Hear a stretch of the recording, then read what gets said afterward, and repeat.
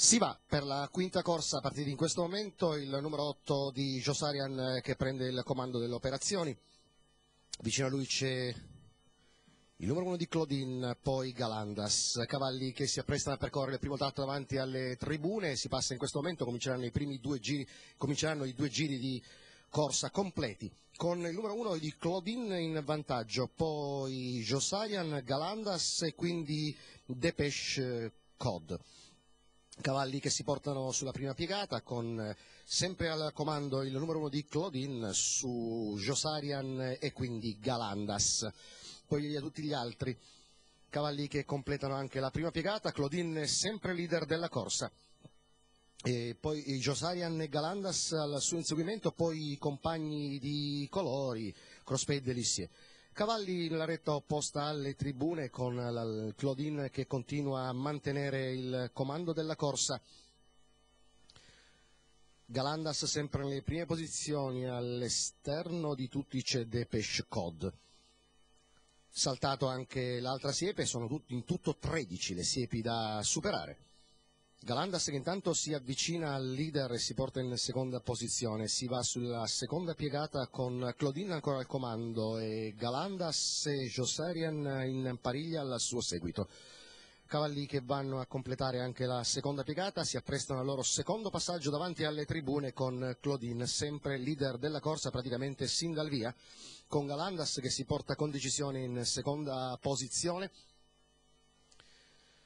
Claudine ha un paio di lunghezze di vantaggio su Galandas, cavalli che si presentano davanti alle tribune, Claudine leader, Galandas secondo, De Pesco terzo, Josarian in quarta posizione, all'interno c'è anche Crossfade col numero 2. Si comincia così l'ultimo giro di corsa, adesso l'andatura è decisamente ravvivata dai concorrenti con Claudine che accelera per cercare di non farsi raggiungere dagli avversari, ma Galandas ce l'ha sempre sotto tiro. I cavalli che vanno ad affrontare la penultima piegata del percorso con Galandas che si avvicina minaccioso al leader, seguito sempre da Josarian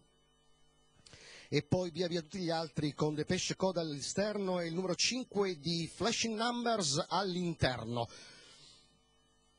Claudine ancora al comando sulla retta opposta alle tribune, Galandas al suo esterno, Depeche Code ancora più a largo, per corsie interne ci sono quelli di scuderie, in particolare Crossfade, cavalli che vanno a saltare ancora una siepe con eh, Claudine che deve difendersi dall'attacco degli avversari, in particolar modo di Depeche Code che tende a passare, Galandas ne in scia, Josarian anche cavalli che vanno ad affrontare l'ultima piegata del percorso con Depeche Code che ha messo la destra davanti al numero uno di Claudine che rientra però all'avversario. All'interno c'è sempre minaccioso Flashing Numbers che per corsie interne va ad impegnare Claudine, Flashing Numbers Claudine, poi il numero 4 di Depeche Code, quindi Joserian a largo, cavalli che vanno ad imboccare l'addirittura conclusiva con Flashing Numbers per corsie interne che sembrano aver preso vantaggio che potrebbe addirittura risultare decisivo a questo punto. Si salta ancora l'ostacolo flashing numbers ma viene attaccato e superato proprio in retta d'arrivo da Josarian, Josarian flashing numbers e poi il numero 3 di Delissier così al traguardo con il numero 8 di Josarian che precede il numero 5 di flashing numbers e il 3 di Delissier corsa combattuta specie nell'ultimo giro con Flashing Numbers che per corsie interne ha recuperato posizioni su posizioni per poi attaccare deciso il leader Claudine, ma non ha fatto i conti con Josarian che ha gravitato a lungo in terza posizione e poi ha messo in atto un finale davvero importante e si è imposto